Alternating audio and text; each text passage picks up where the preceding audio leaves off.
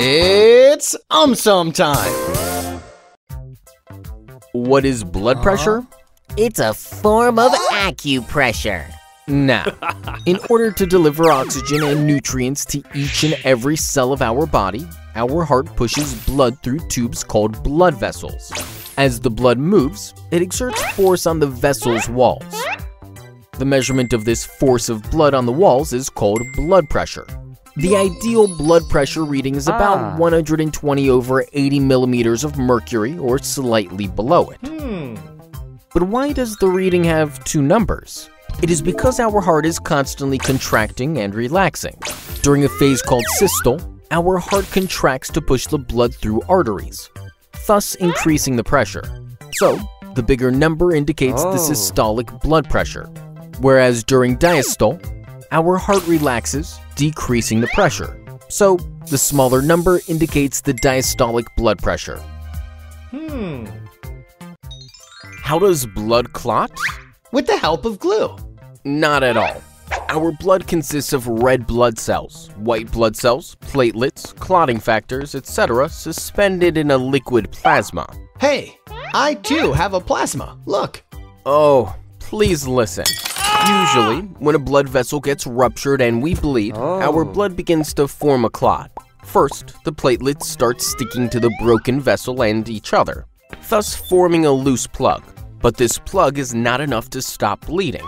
Hence, the clotting factors take part in a complex chain of chemical reactions and create fibrin strands. These strands crisscross one another and create a mesh that tightly holds the loose plug together and makes it strong. Red blood cells and white blood cells also get trapped in the mesh, thus creating a blood clot that completely stops bleeding.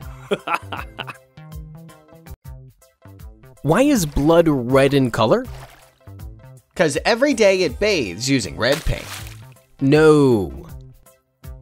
Our blood mainly consists of a liquid called plasma, red blood cells, white blood cells, and platelets. However, the color of our blood is basically because of red blood cells. Each of the red blood cells contains hemoglobin. Hemoglobin is an iron-rich protein. When hemoglobin binds with oxygen, the interaction between them gives our blood its red color. Moreover, like human beings, not all animals have red-colored blood. This is because the blood of some animals, such as octopuses, spiders, etc., has hemocyanin instead of hemoglobin. Hemocyanin is a copper-containing protein. When hemocyanin binds with oxygen, their interaction gives the blood a blue color. The blood of some lizards has biliverdin instead of hemoglobin, which give their blood a green color. Hmm. Huh? Blood rain! Ah! Relax! Blood rain has red colored water droplets. There are various reasons behind this.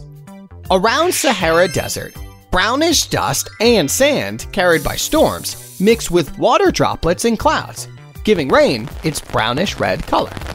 In Kerala, red spores of algae called Trentepohlia annulata got carried by wind and mixed with water droplets, causing blood rain. While in Zamora, Haematococcus pluvialis algae got caught in rain clouds, got stressed, and produced a red pigment called astaxanthin, causing blood rain.